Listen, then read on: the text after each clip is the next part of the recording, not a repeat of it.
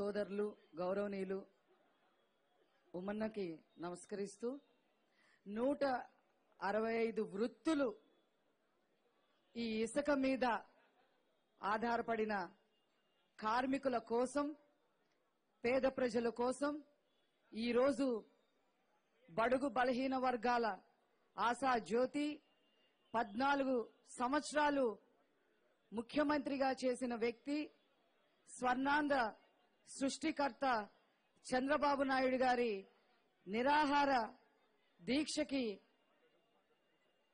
విచ్చేసిన మీ అందరికీ నమస్కరిస్తూ నేను కొన్ని విషయాలు మీ ముందు ఉంచదలుచుకున్నాను. ఒక భవన కార్మికుడు తన భార్య కోసం ఒక వీడియో తీసి ఆ వీడియోలో ఏ రకంగా మాట్లాడాడు అనేది మీ అందరికీ కూడా ఒకసారి గుర్తు చేయదలుచుకున్నా. రాసి నన్ను క్షమించు. నా వల్ల మీ అందరికీ ఇబ్బంది కలుగుతుంది. ప్రస్తుతం పనులు లేక ఇబ్బంది పడుతున్నా. అందరూ ఏం చేస్తున్నావు అంటే పైపుల పని అంటూ గొప్పగా చెప్పుకుంటున్నా. పనులు మాత్రం లేవు. ఆ బాధ నీపై చూపించా. చనిపోయి ఏ లోకాన ఉన్నా మిమ్మల్ని చూస్తూనే ఉంటా. ఈ లోకంలో నాకు నూకలు లేవు. భార్యా పిల్లల్ని పోషించుకోలేకపోతున్నా. కొడుకు చరణ్కు ఏ లోటు రాకుండా జాగ్రత్తగా చూసుకో. నేను చేతగాని వాడిని అంటూ లే వీడియో తీసి సెల్ఫ్ వీడియో తీసి వెంకటేశ్వరరావు అనే వ్యక్తి చనిపోయాడు. ఆ వీడియో ప్రభుత్వం దృష్టికి కూడా వెళ్ళింది. అయినా ప్రభుత్వంలో ఏమాత్రం చలనం లేదు. జగన్మోహన్ రెడ్డి గారికి ఏమాత్రం చలనం లేదు.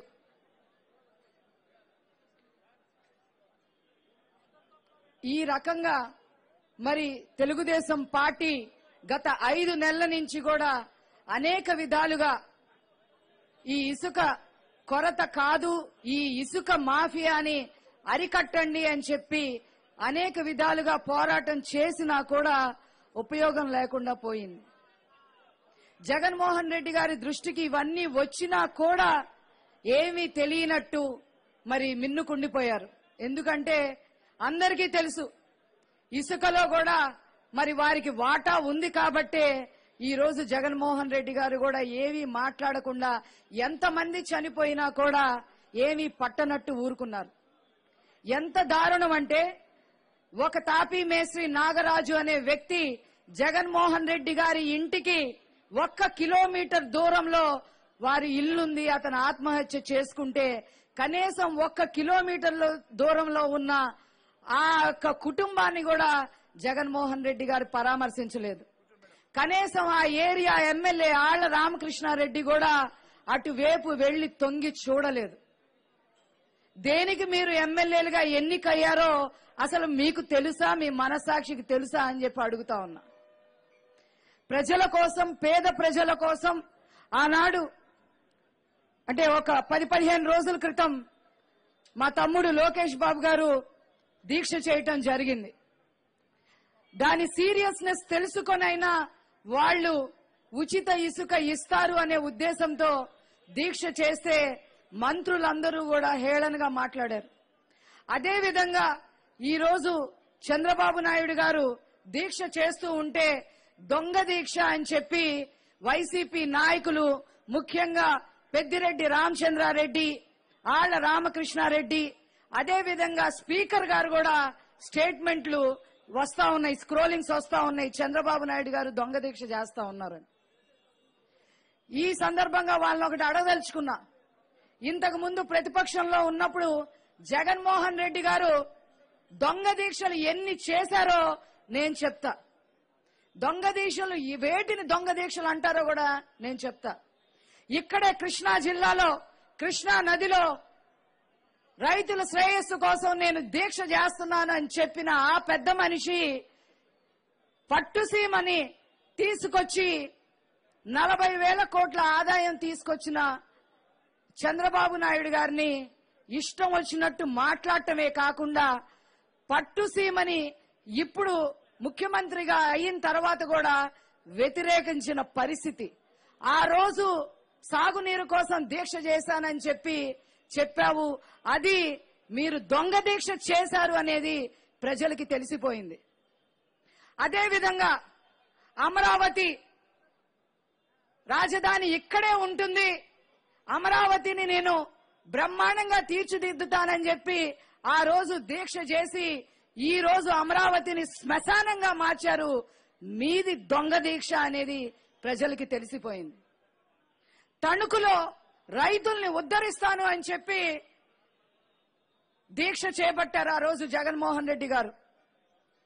నేను ఇంత ఉద్ధరిస్తా అంత ఉద్ధరిస్తానని చెప్పి చివరికి పన్నెండు వేల ఐదు వందలు రైతు భరోసా కింద ఇస్తానని చెప్పి ఏడు వేల ఐదు వందలు మాత్రంతోనే సరిపెట్టి అది కూడా కౌలు రైతులకి ఇవ్వకోకుండా మరి అందులో ఆ రకంగా రైతులందరినీ అన్యాయం చేసి మరి ఈరోజు దొంగ దీక్ష మీరు చేశారు అనే విషయం రైతులకు కూడా తెలిసిపోయింది. రైతు అనే వారికి అసలు కులం ఉండదు. అలాంటిది కులాన్ని అంటగట్టి కొంతమంది కౌలు రైతులకే లబ్ధి చేకూరుస్తామని చెప్పారు. అది కూడా చేస్తారో లేదో తెలియని పరిస్థితి. అన్నిటికీ మించి రాయలసీమలో బ్రహ్మాండంగా ఒక దీక్ష చేశాడమ్మా. కాళేశ్వరం ప్రాజెక్ట్కి వ్యతిరేకంగా దీక్ష చేశారు కర్నూలులో తర్వాత ఏం జరిగింది? ముఖ్యమంత్రి అయిన తర్వాత కాళేశ్వరం ప్రాజెక్టు కేసీఆర్ గారు ఇనాగరేషన్ చేస్తే వెళ్ళి ఒకటి కాదు రెండు కాదు మూడు కాదు నాలుగు గంటలు వెళ్ళి ఆ ఇనాగరేషన్ చేసి వచ్చారు. మీరు కన్నూరులో చేసింది దొంగ దీక్ష అనేది ప్రజలకి అర్థమైపోయింది. ఈ దొంగ దీక్షల సంస్కృతి వైసీపీ పార్టీకి జగన్మోహన్ రెడ్డికే ఉంది తప్ప చంద్రబాబు నాయుడు గారికి లేదు తెలుగుదేశం పార్టీకి లేదు అని చెప్పి ఈ సందర్భంగా వాళ్ళందరికీ కూడా తెలియజేస్తున్నాను. రైతుల కోసం ఒకప్పుడు దీక్ష చేశారు చంద్రబాబు నాయుడు గారు.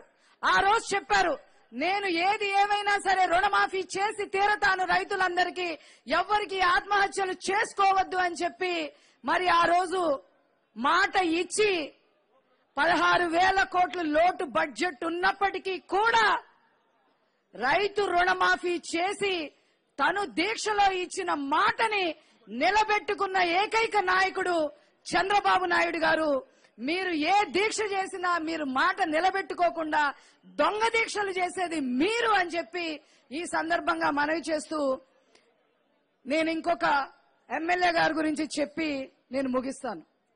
నిన్నటి నుంచి ఆ ఎక్స్ట్రాలు చూడలేకపోతున్నాం పాదసారథి గారి. నేను ఇసుక గనక దొంగతనంగా చేశాను లేదా ఇసుక వల్ల నేను సంపాదించుకున్నానని ఎవరైనా ప్రూవ్ చేస్తే